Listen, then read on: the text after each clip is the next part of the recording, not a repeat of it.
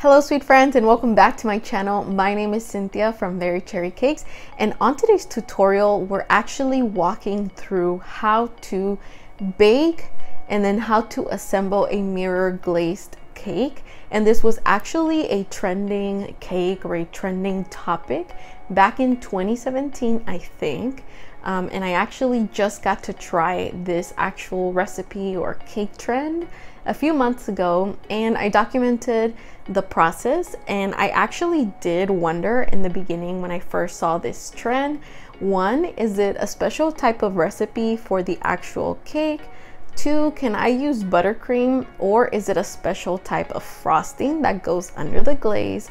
And then three, how does it feel and how does it hold up? How is it stored and how does it taste?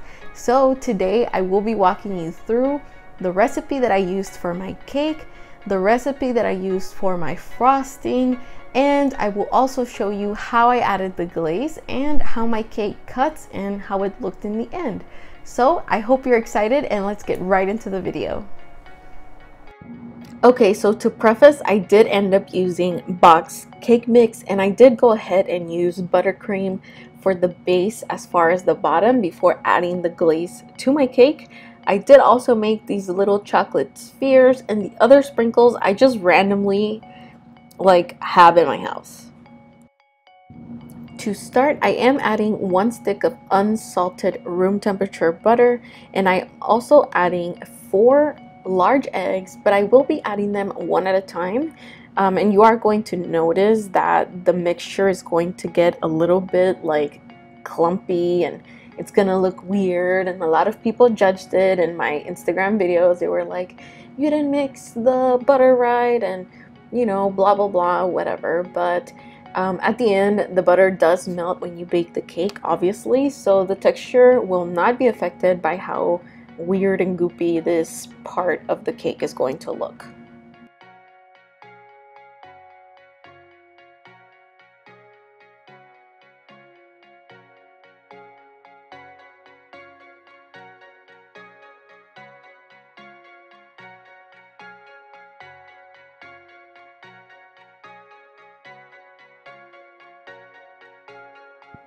In this step, I just attempted to continue to mix the eggs and the butter a little bit more, but I finally accepted that the mixture will remain this way, and I know that a better way would have probably been to mix each ingredient separate. Regardless, now I'm adding one bag of cake mix. This can be any cake mix that you would like, and the recipe will work um, really the same because cake mix is already mixed to work. That sounded weird, but it's true. Now I'm adding one cup of milk. And remember that all these ingredients are at room temperature. And for this part, we are going to make sure to just mix enough, but do not over mix because there is such a thing as over mixing your cake. So I'm going to just mix for a few more minutes. This is sped up, so just make sure you know that. And as soon as we're done, I'm going to color my batter.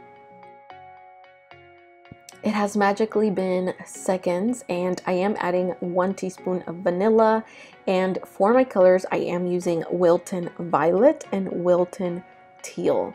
So I did separate my mixture or my batter into an eyeball of what I think is half and I will just incorporate the color using a spatula but not over mixing.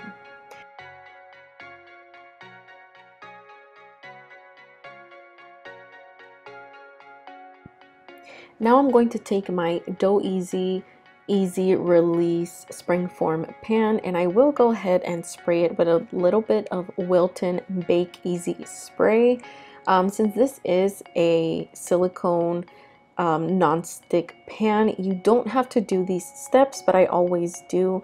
Sometimes I do add a little bit of flour at the bottom because there are some cakes that caramelize or that have too much sugar and they will stick to the bottom.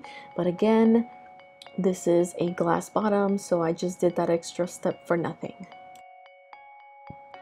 Here is where I'm not super proud of myself because this was my super weird and lame attempt at marbling this cake Obviously, there's a lot better techniques where it should have been that I would have scooped in a little bit of purple, left a little bit of space for the green, purple green instead of trying to glop this all together and then swirling it with a little spatula or a knife. Because at the end what happened is that when I split it open this top part was swirled a little bit but then the bottom half was only violet. So take a note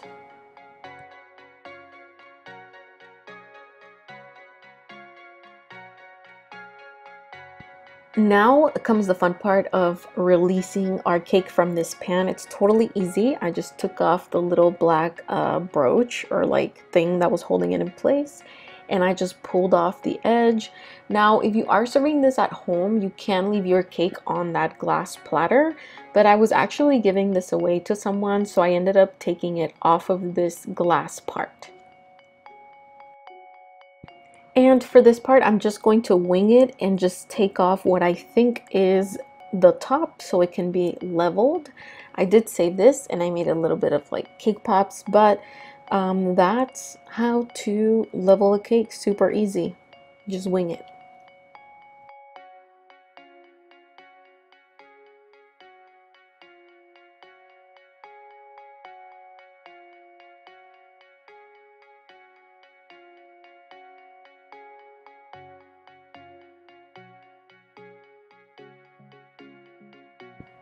To fill my boxed cake, I am using a little bit of buttercream icing. I do have a few recipes and I will link them below. Um, and here I am using, I do recommend to use an ice cream scoop. This is a quarter cup to make sure that you keep your uh, filling to the same level. So if you're making a cake that has more than one tier, not one tier, but more than one layer, you can distribute the frosting evenly. Then here, I'm just going to go ahead and plop the top over. No scientific way, no rhyme or reason, just flop it on over.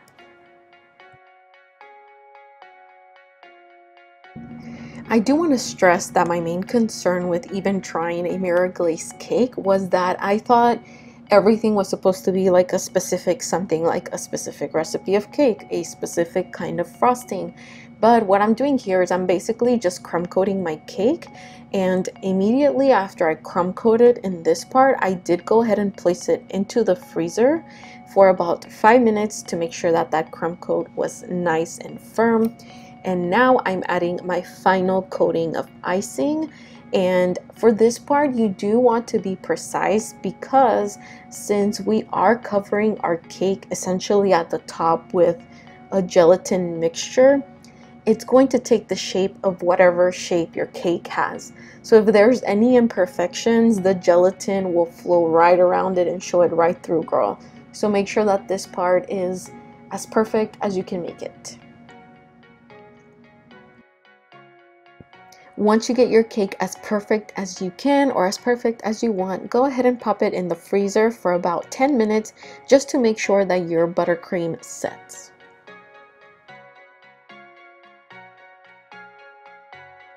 Now for this part, I did not film how I made this uh, mirror glaze, but if you want a video, let me know in the comments below. To start my glazing, I did go ahead and place a 4 inch little round cake pan on top of a cookie sheet to catch like the excess glaze and I did pour my glaze into this measuring cup because I thought it would be a little bit easier but at the end I just started pouring from the original containers. So for this part, have fun. Don't really follow any steps. You can do whatever you want. And I really love this cake and the look of it because if you guys have been following me for a while, I don't really like perfect things. Um, and this is basically what a mirror glaze can be. Obviously, you can use one color, but I used a multitude of colors and I like that. So I hope it looks fun. I hope it's cute, but this is what I did. I just started pouring on a bunch of different colors.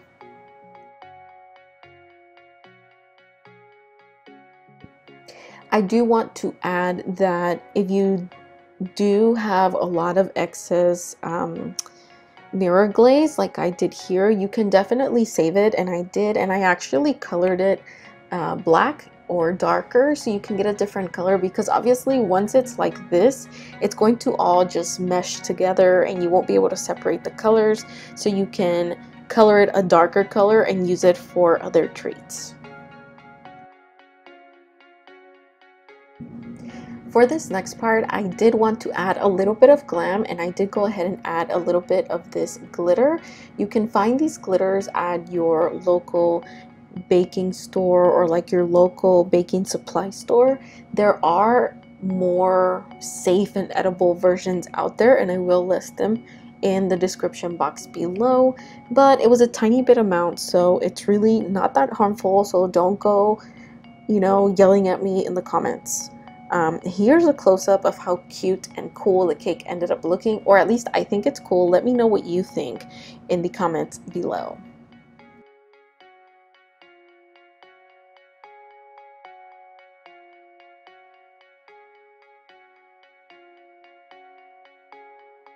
As part of my decoration, I decided to make tiny ball truffles or cake truffles. So I used the trimmings of the top of my cake and I'm basically inserting them to these little half spheres and the white plate right over there is actually hot. So I placed it into the microwave for approximately 10 to 20 seconds and that's what you see me doing here is I'm actually sliding this half sphere of chocolate onto the plate, causing the chocolate to melt and letting me merge both of the spheres together to form the little balls. I know that was so weird, like I sounded like a robot explaining that, but it just, that's what I did, you know, so you just gotta trust me on that. And to finish off my cake, I'm going to just randomly place these little truffles all over my cake. I also did use a little bit of those uh, goldenrod sprinkles and I did splatter some gold onto my cake. I think it looks super, super good. What would you change about this design? Is there anything in particular that you thought was cooler than the other? Let me know what you think, but I think it turned out great. And actually, I think it would look pretty cool as a shirt. These little things that I'm placing on there are almond um, candies. So they have an almond inside and it's like a chocolate coating on the outside and I'm just painting them slightly gold.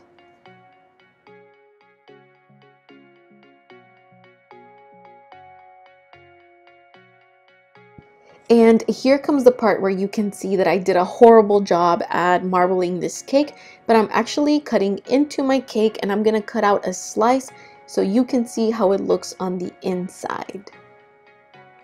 And I do want to stress that the coating on the outside is gelatin like we explained in the beginning, so your cake must remain cold until it is eaten.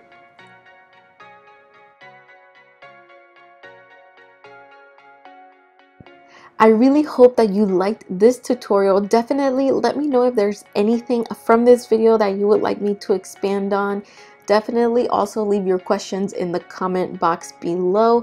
Don't forget to, to subscribe before you go. Like this video if you liked it and share it with your friends.